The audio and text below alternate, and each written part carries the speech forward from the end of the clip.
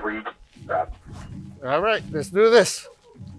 Look at that! All right, Oliver first. What's Oliver oh, first. Woo! Oh my Oh my god. God!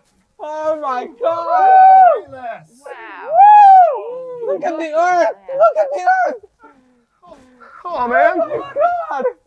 Oh my god. Oh, Oh, this is psych. insane. Okay, I got a few things to do. All right, first for you, Tamla Pierce.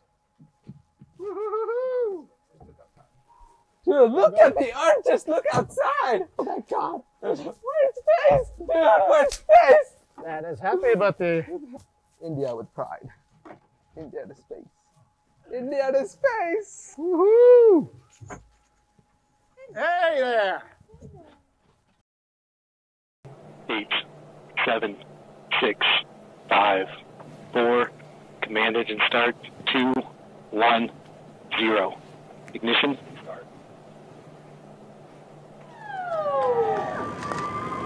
And liftoff.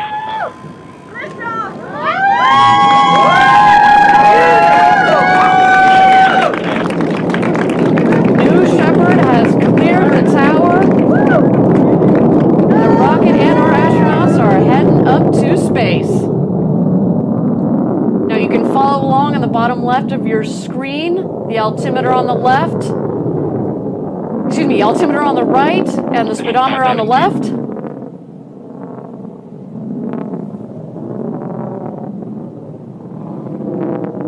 Ten thousand feet.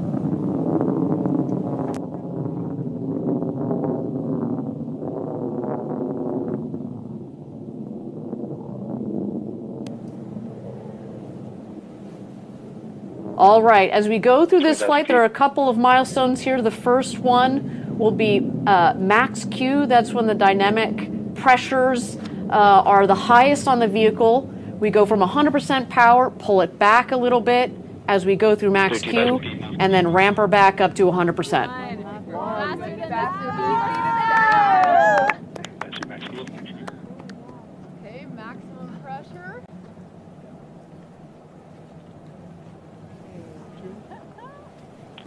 feet now. Max G should be in about 10 seconds.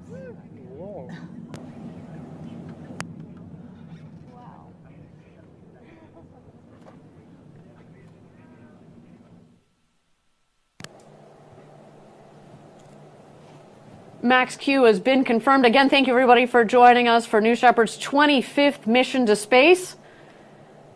So far, in nominal flight, we have gone through Max Q. 100,000 feet and the vehicle will continue to climb under full power of the BE3 engine.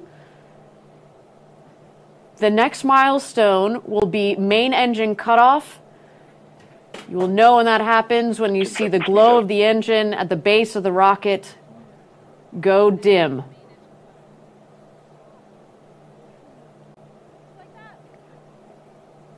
MECO. There we go. Main engine cutoff confirmed. Passing two hundred thousand feet. Now, with the main engine cut off, with the BE3U, excuse me, the BE3 engine turned off, the vehicle continues to climb up towards its apogee, but as you will see on the left side, the speedometer will come down. And once that speedometer hits zero, that's when you know exactly that the vehicle has hit uh, apogee, its highest altitude in, uh, in the flight of the vehicle. Now, I understand that separation of the capsule from the booster has been confirmed. All right, let's do this. Look at that! All right, Oliver first. What's Oliver first. Woo! Oh my Oh my god. God! Oh my god. Wow. Woo! Look at the earth. Look at the earth. Oh man! Oh my god. Oh my god. Oh, Oh, this is like insane. Okay, I got a few things to oh. do. All right, Woohoo! first for you, Tamla Pierce. Dude, look at the arches. Look outside. Oh my god. Where's space? Dude, where's space? That is happy, but the India with pride. India to space. India to space. woohoo! Hey there!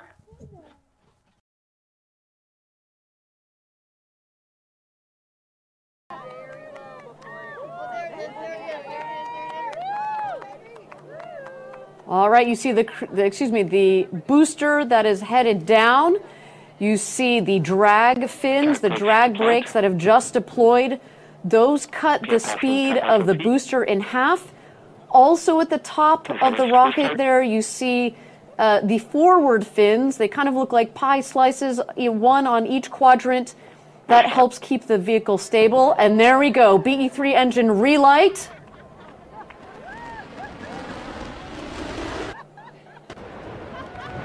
Landing gear deployed. 50 feet, 8 feet per second. Touchdown. Auto sum started. And touchdown. Welcome home, New Shepard. What a beautiful flight to space and back for that booster. But the show is not over. The crew capsule has deployed its uh, its guide parachutes and its mains. Everything looking nominal on today's flight. Uh, looks like we do have two parachutes that have full inflation. The third is not quite fully in, uh, inflated, but actually, Jackie, this is um, this is part of the design. We, one of the, in fact, the fir- we were talking about my fir- webcast. The first webcast that we did, we actually we tested a chute out. There are multiple redundant uh, factors in this uh, in this system, and so landing with two parachutes is perfectly okay for this system. You'll also see the dust take out at the base of the uh, of the capsule as she comes into land. That is the air cushioning system. It's going to kick up a lot of that West Texas dust you just talked about, but it also there it is, touchdown of the crew capsule. A beautiful flight for our rocket, for our crew capsule for our six new astronauts Mason, Sylvain, Ken, Carol, Gopi, and Ed. You are officially astronauts. Welcome home, everybody.